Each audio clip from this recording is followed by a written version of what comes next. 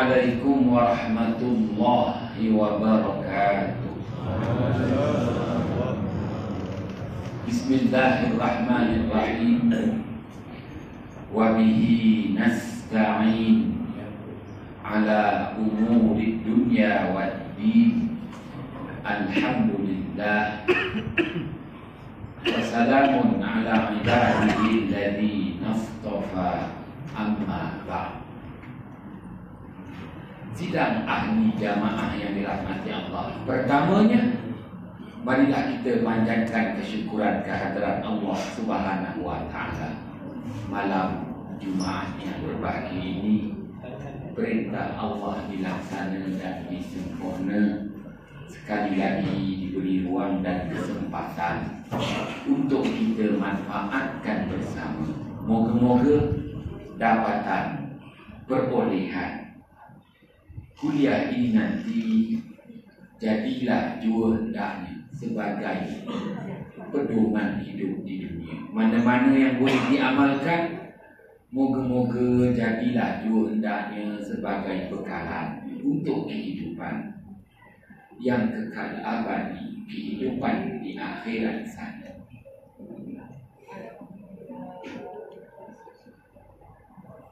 Ayat yang ke-27 Surah Al-Ma'idah Allah Subhanahu wa taala berfirman ba'da a'udzu billahi minasyaitonir rajim Watlu alaihim naba'a bani Adam bil haqq إذ قربا قربانا فتقبل من أحدهما ولم يتقبل من الآخر Qala la aqtulanna Qala innama yataqabbalu Allahu minal muttaqin.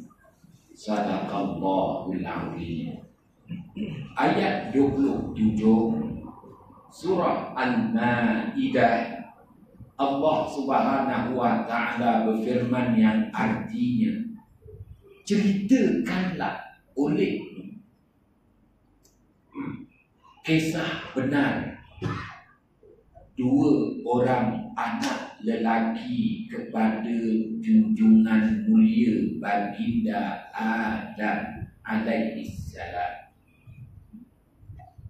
Ketika waktu kedua-dua anak lelaki baginda Adam alaihi salam itu menjalani ibadat korban maka diterima salah seorang dari keduanya dan ditolak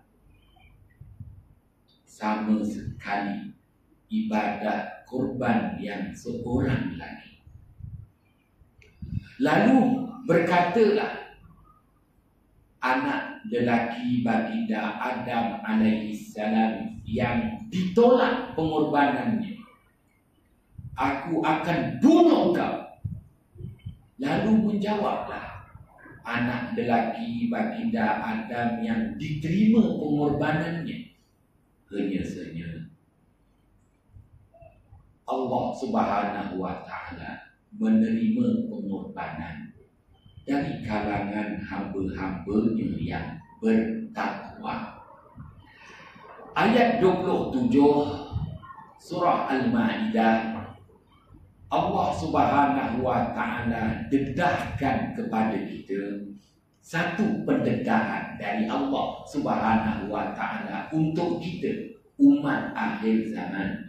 Umat baginda Muhammad sallallahu alaihi wasallam berhubung tentang skandal anak baginda Adam alaihi salam. Jangan salah dalam membuat perhitungan.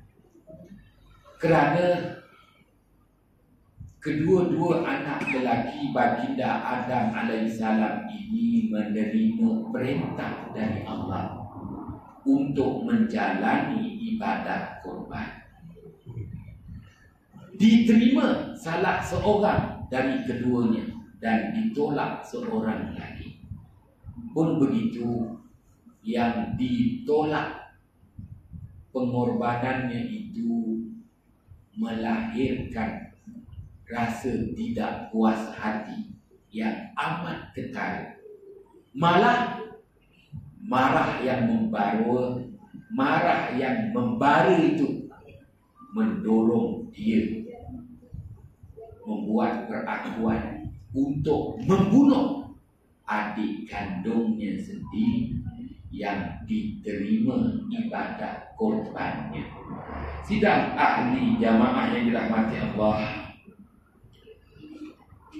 Asyik Al-Imam Fahruddin Ar-Razi Tokoh ulama tafsir Islam yang dihormati lagi disegani dah pun wafat 800 tahun yang lalu Dalam kitab tafsirnya Mafatihul Ghaib Memberi suatu ulasan yang begitu panjang lebar Ya Yang mana Allah Subhanahu Wa Taala tak sebut pun nama kedua-dua anak lelaki baginda Adam alaihissalam.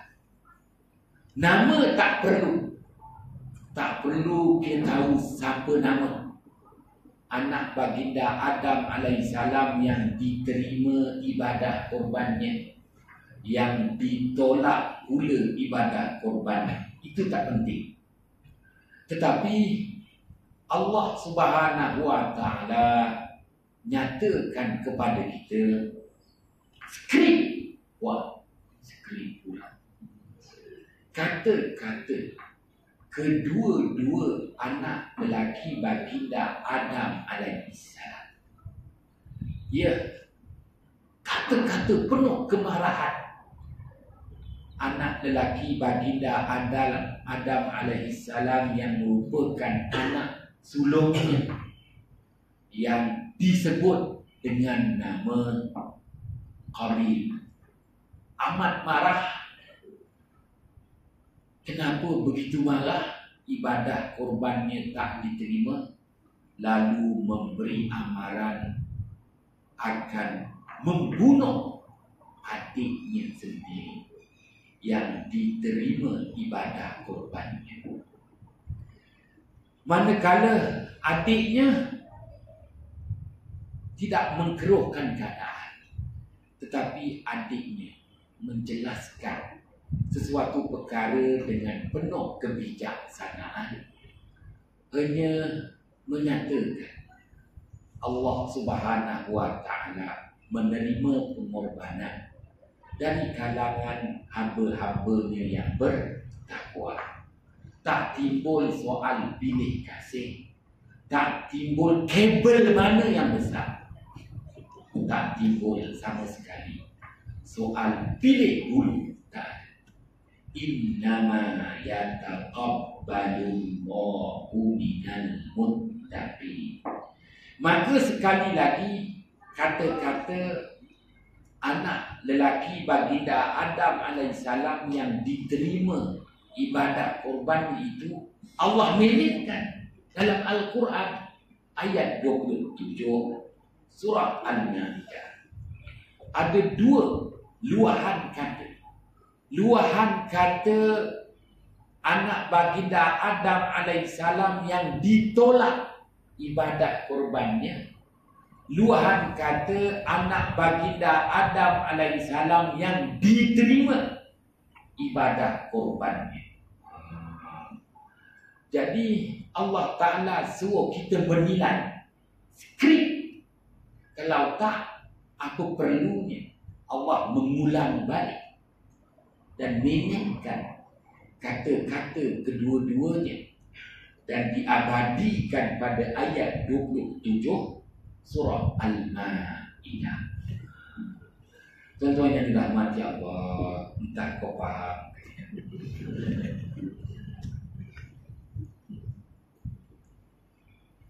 Apa perlunya Allah Ta'ala nak mengulang semula skrip itu? Tak payah cerita skrip nak, jimat kos nak, pendekkan Beritahu je, penalti anak pertama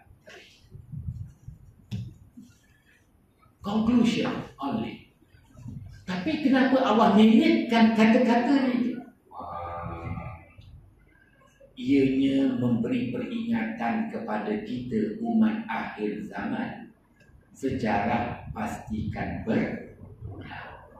Apa yang berlaku kes skandal yang berlaku untuk anak baginda Adam alaihissalam kes itu akan berulang semula untuk kita umat akhir zaman deng deng deng deng jadi kalau berlaku atas diri tuan-tuan berlaku atas diri saya saya kena kena sedar.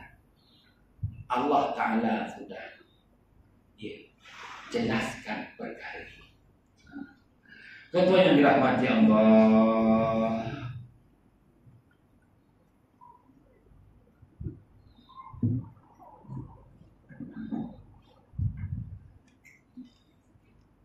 Anak sulung lelaki baginda Adam alaihissalam dalam tafsiran yang diberikan oleh Asyik Al-Imam Fakhruddin Ar-Razi dah pun wafat 800 tahun yang lalu dalam kitab tafsirnya Mafatihul Ghaib. Anak sulung lelaki baginda Adam alaihissalam dalam riwayat menyatakan yang dikenali dengan nama Qabil merupakan seorang petani yang berjaya Allah beri kepadanya ilmu, pengetahuan, Allah beri kepadanya kebijaksanaan sehingga dia berjaya menanam pokok buah-buahan yang ranum masak manis enak. Apabila Allah Subhanahu wa taala tuntut agar dia mengorbankan sebahagian daripada hasil mahsul yang diraih diperoleh apa yang berlaku? Dia memilih buah-buahan yang busuk, buruk, buang buruk, kelak.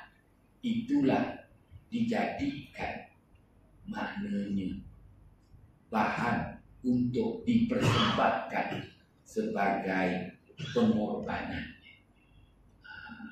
Maka kita fahamlah kalau itu yang dipersembahkan kepada Allah buah-buahan yang buruk, busuk, buah-buahan yang gelap, yang tak ada nilainya, itu yang nak dijadikan bahan pengorbanan, sememangnya tak diterima. Maka kita faham siapa yang bersalah. Dia yang bersalah. Pilihan dia. Dia yang pilih buah yang buruk buah yang busuk, buah yang gelap, pilihan dia. Siapa yang bersalah? Dia yang bersalah. Kenapa? Keputusan dia. Buah yang buruk, buah yang gelap, buah yang busuk. Pilihan dan keputusan dia. Tak ada kena mengena dengan orang lain. Tapi kenapa pula tiba-tiba apabila tak diterima ibadah korbannya, dia pula nak bunuh adik dia membuat satu perakuan amaran la aqtulanna aku akan bunuh kau Tentu yang dirahmati Allah menunjukkan dia tidak mengaku kelemahan dirinya. Dia tidak mengaku kesalahan dirinya. Dia tidak mengaku kesilapan dirinya. Tak mengaku kelemahan tak mengaku kesilapan, tak mengaku kesalahan. Malah aa, dia pula menyatakan punca ibadah korban tak diterima kerana adik dia. Adik dah diterima, abang ditolak. Ini bukan soal kota. Kalau soal kota, satu sahaja kota untuk diberi APC anugerah perkhidmatan cemerlang memanglah dapat seorang seorang tak dapat tapi kalau kota ditambah dua orang dua orang tapi kalau dah kotanya begitu satu je seorang je yang dapat maka nasiblah. Ini bukan soal kota tapi soal hmm, Hebatnya orang Melayu. Aku pun orang Melayu pula Kan tak orang Melayu. Hmm. Orang Melayu dia tak ada banyak kata-kata. Dosa nanti. Maka dia cakap ada beberapa patah. Pepatah Melayu. Aku pun bukan tahu sana Baling batu. Sembunyi tak Salah sendiri. Dia yang balik. Dia kata adik dia yang menjadi punca Tak diterima ibadah korban Hebat orang lain. Tentu yang dirahmati Allah.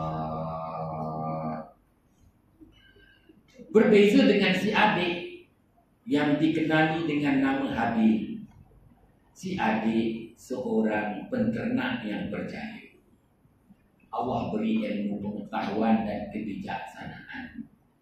Maka dalam dia menternak kambing kambingnya gemuk sendul subur lebat berbuluannya apabila Allah tuntut untuk dia menjalani ibadah korban pilihan dia keputusan dia kambing yang paling gemuk sendul sehat subur pilihan dan keputusan tepat. Sudah barang pasti Allah Ta'ala terima ibadah korban Dan apabila abangnya memberi amaran Apa dia sebut? Dia tidak pernah membangga diri. Dia tidak pernah maknanya Menyalahkan dan menunjukkan kelemahan orang. Dia hanya menyatakan bahawa dia mengikut spek. Bukan spek JKR ikut spek yang Allah Ta'ala tetapkan. Innama yata'abbalullahu minal muttaqin. Hanya saja Allah terima pengorbanan dari kalangan orang-orang yang bertakwa. Orang itu takwa kepada Allah dia akan berikan pengorbanan yang terbaik persembahan yang terbaik. Baik itulah tak timbul soal guna kabel. Tak ada tak ada tak ada. Ketua yang dirahmati Allah. Dalam masa yang sama dia pun tak pernah mengata abang punya pasal lah apa yang salah? Siapa suruh abang kau salah nak buat pilihan dan keputusan. Ada sebab itu tidak ada. Innama yataqabbalullahu minal muttaqin hanya menyatakan abangnya tidak memenuhi kriteria yang Allah tetapkan. Ikut kriteria memenuhi syarat spek yang Allah tetapkan, Allah terima ibadah kurban. Maknanya dia tidak pernah membangga diri. Hanya menyatakan Allah terima pengorbanan hamba-hamba yang bertakwa. Oleh itu, dua nilai yang berbeza. Nilai yang dibenci Allah nilai yang dirahmati Allah. Tuan-tuan yang dirahmati Allah baiklah. Endingnya ha, yang betul pengorbanannya itulah yang berkorban si abang tetap dengan keputusan jahatnya. Membunuh adik. Itu yang kita paham cerita tuan-tuan yang dirahmati Allah. Dekat jabatan mufti itulah. Kawan-kawan saya itu budak-budak yang baru masuk bekerja dia baru 2-3 tahun dah, confirm jawatan. Nak cerita apa nak cerita. Dia kalau berbual dengan saya Budak-budak ni dia cakap apa? Kita nak tahu macam mana Game Ustaz Hanafiah. Game? Aku mana pandai main game? Kita tengok game Ustaz macam mana. Game apa? Oh itu bahasa budak sekarang. Apa dia tengok cara Maknanya pilihan kita, keputusan kita, cara gerak geri kita, dia akan kata game kita ni. Kita nak gamekan diri macam mana? Oh, macam mana macam kau baca. Tuan-tuan yang dirahmati Allah. Sikit-sikit. Tu game Musa nak biar nak gamekan kita macam mana? Aku mana nak game-gamekan kau Yelah kita nak tunggu game JDT dapat tak? Pegang Tuan-tuan yang dirahmati Allah Ini game-game apa? Punya bahasa budak sekarang macam itu. Dia nak tengok Aku ni bentis dia ke tidak? Okey. Istilah tu istilah guna bahasa yang orang putih. Okey. Tuan-tuan yang Allah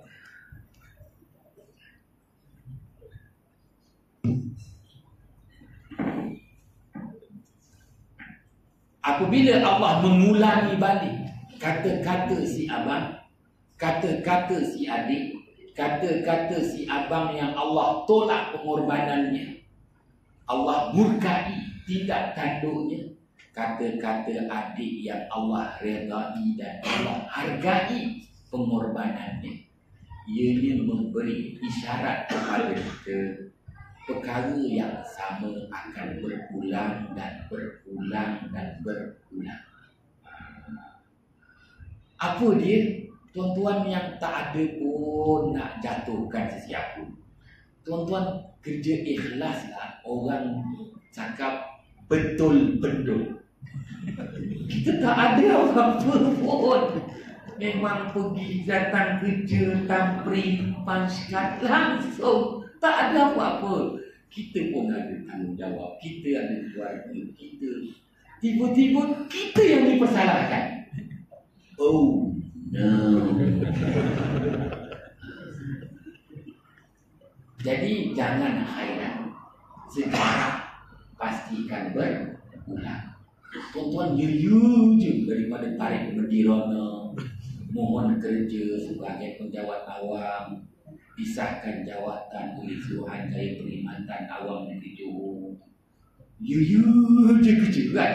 Betul-betul. Tiba-tiba tuan-tuan dipersalahkan pula. Eh, aku yang bersalah. Aku yang bersalah. Ada muncul pula kan? Eh, bersalah pula. Aku salah aku. Ah, tuan-tuan yang dirahmati Allah. Tiba-tiba tuan-tuan pula dipersalahkan. Eh, disuruh pula bersalin awal. Oh no. Akhir zaman. Tuan-tuan yang dirahmati Allah. Sebab itu kena faham cerita ayat 27 surah Al-Ma'idah. Orang yang korbannya tak ada kelepit, ngencing. Ya, tuan-tuan. Kalau anak tak salah kita kata anak lelaki yang pertama anak sulung baginda Adam alaihissalam dia ngencing Allah macam mana? Itulah dia Dah memang diperintahkan menjalani ibadah korban Wah Tapi apa yang dipilih? Pilihannya macam mana? Keputusannya macam mana? Buah yang mana? Buah buruk, buah busuk, buah telat Itu yang dijadikan persembahan untuk ibadah korban. Tiba-tiba tak salah pula. Eh, dia pula salahkan adik dia. Eh, bunuh adik dia pula. Eh, tentu yang dirahmati Allah. Ha. Benda akan berlaku akhir zaman. Ya, yang bersalah. Tak bersalah. Yang tak bersalah. Bersalah. Tak kau tak faham muka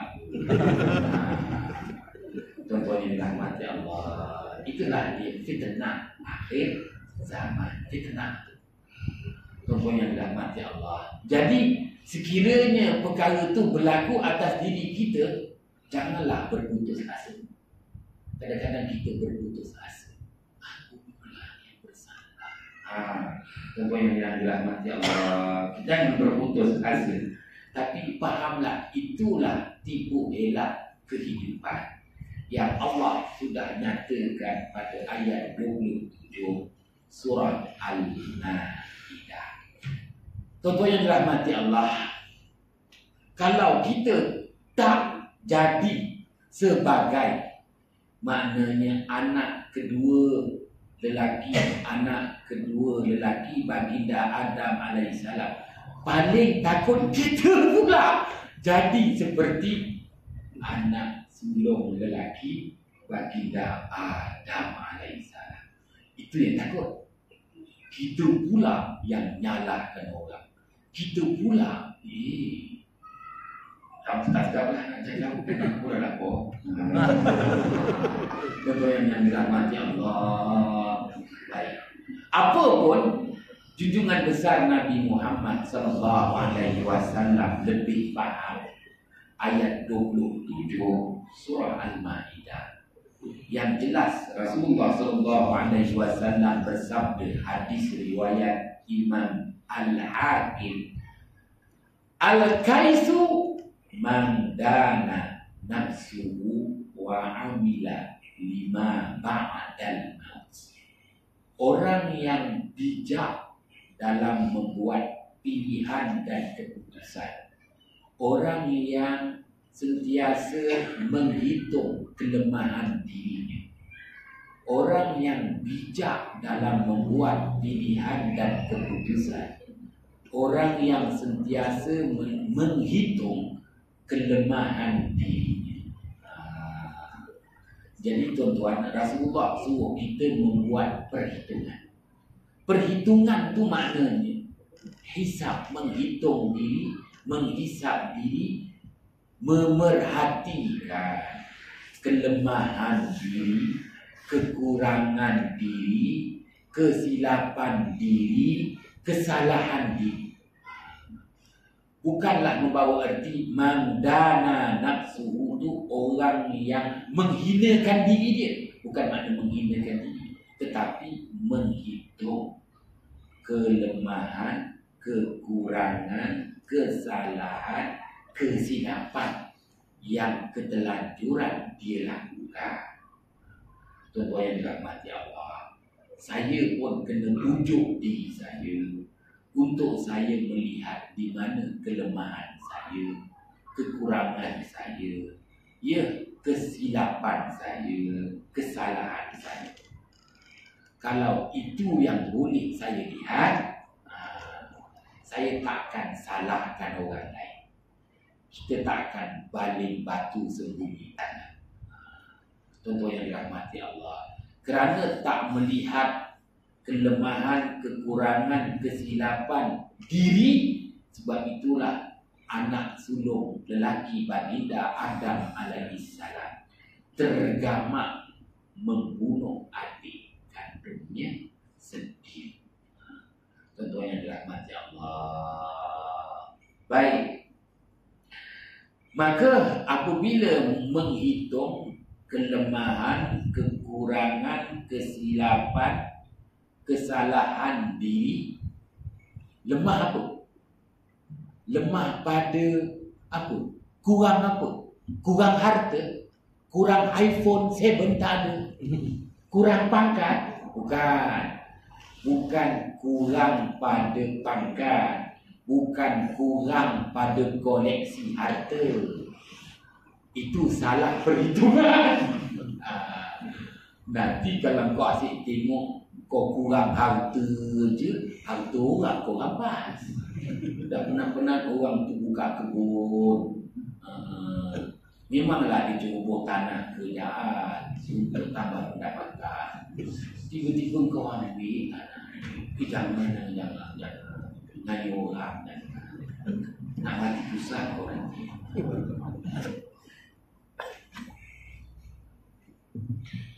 Tuan-tuan yang dirahmati Allah For example, uh, saya pun kadang-kadang nak rampas tanah orang juga. Tengok-tengok, oh, yang aku nak ambil tanah kucing itu tugiman, tugiran, tugimin dah tanam ubi. Tak apalah. Kalau kita nak ambil pun rundinglah dengan dia dah. Bagilah awak kata apa. Upah ke apa, upah dibersihkan. Tanah ke apa. Janganlah mereka rampas Pacak pula eh, Jangan Jangan baca-baca nanti Rumiklah Tuan-tuan yang dirahmati Allah Ya Jangan salah membuat perhitungan Kita asyik hitung harta sedikit. Kita asyik hitung rendah pangkat kita. Kita, kita hanya menghitung maknanya rendah kedudukan kita. Tidak. Perhitungan yang kita buat kelemahan, kekurangan. Setelah kita sedar, oh ini kelemahan, kekurangan aku. Bagaimana nak bertindak? Tindakan kita lebih kepada melakukan amal-amal ibadah sebagai bekalan untuk hari mati. Itu sebenarnya. Tuan-tuan yang dirahmati Allah, apabila kita melihat diri kita, eh, diri aku ni lemah, diri aku ni kurang. Kurang apa? Kurang pangkat. Apa ini? Kita pun tiga, empat, tiga, empat, empat, dua. Macam mana? Biar cepat mati, kena accident, aku ambil tempat dia. Yang itu. Itu salah membuat perhitungan. Apabila kita sedar, eh, aku ni lemah, aku ni kurang. Apa yang aku nak bertindak? Bertindak mengikut kemampuan, usia umur. Lebih-lebih lagi peruntukan yang tersedia tu apa? Kerana pilihan keputusan kita itu sepatutnya untuk kebaikan kehidupan yang kekal abadi di akhirat sana. Sebab itu apa yang Rasulullah sabdakan setelah kita melihat kelemahan diri, kekurangan diri, buatlah bekalan untuk hari mati. Itulah yang paling bijak dalam membuat pilihan dan keputusan. Ya.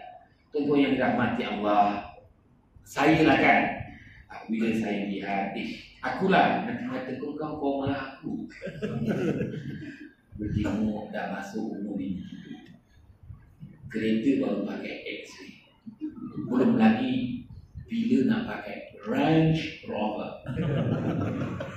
Umur dah 50 tapi kakaknya mampu X-ray umur dah 50 ni banyaknya kurang dan rumah yang ada corner lot Aku nak pindah juga dekat Mutiara ini macam Johan. Banglu Contoh, contoh for example Baguslah tu melihat kelemahan diri kan? Tapi apabila nak bertindak action taken tengok umur 50 dah. 50 dah. Jawatan kerani lagi. Tak lepas di zaman ni. Ha. jadi keputusan ni kena lihatlah kemampuannya macam mana barulah kita bertindak. Ni kalau tidak salah membuat perhitungan pun bahaya tentu yang yang dirahmati Allah kita buat keputusan di luar kemampuan bahaya tu. Patutnya kita buat keputusan mengikut kemampuan kita. Sebab itu Imam Al-Ghazali rahmatullah alaih menceritakan kepada kita dalam kitabnya Mizan Ma'amal dia cerita sedap cerita Imam Ghazali seorang ayah memiliki kebun yang amat luas maka si ayah sebelum meninggal dunia dia suruh anak-anak dia berjalanlah daripada terbit matahari dan yang penting apabila berjalan tandalah tanah yang dia nak letak ni tanah aku. Ni tanah aku. Ni tanah aku. Ni tanah aku. Tanah aku, tanah aku, tanah aku. Tapi pastikan setelah dia buat penandaan, dia balik semula ke penandaan asal itu sebelum terbenam matahari. Maka anak-anak dia pun bersedia on your mind. Lazy, go, go kan tanda masing-masing tamak. Oh, yang paling bijak dia akan membuat penandaan terakhir sebaik sahaja masuk waktu zuhur cukuplah kadar mana yang ditenang. Kenapa? Dia kena patah balik dan pastikan sampai ke penandaan yang mula-mula tu sebelum terbenam matahari. Kalau adik-adik dia yang lain Tak kuat Tanda Tanda. Tanda tiba-tiba dah maghrib. Tak dekat maghrib. Boleh tak dipatah balik? Ha, dah tak boleh dah. Nak patah balik macam mana? Dah jauh. Tenaga dah makin kurang. Bekalan dah tak ada. Ha, tuan-tuan. Yang dirahmati Allah. Itu ibarat yang Imam Al-Ghazali beri kepada kita. Ya, kita sedar kita ada kekurangan dan kita ada kelemahan. Tetapi apabila kita nak buat keputusan, ikutlah kederat kemampuan kita. Ha, jangan di luar. Ya. Kalau tidak nanti, ha, tengok. Berlakulah fitnah besar. Kita yang bersalah, tetapi orang lain pula yang kita bersalahkan. Bahaya tuan-tuan kerana itulah cara kita tak nak tunjuk kelemahan diri, kita akan tunjuk kelemahan orang lain. Kita tak mengaku kekurangan diri, kita akan tunjuk kekurangan orang lain. Tak boleh mungkin buat orang gila. Tak boleh. Sekarang dulu yang dapat dikongsi bersama. Entah kau faham ke tidak. Apatah lagi yang dibuka Facebook ni kan lagi lah. Kau tak faham sangat tengok. Wallahu a'lam bisawab. Bismillahirrahmanirrahim. Fafahamnaha Sulaiman wa kullan ataina hukman wa ilma wa sakharna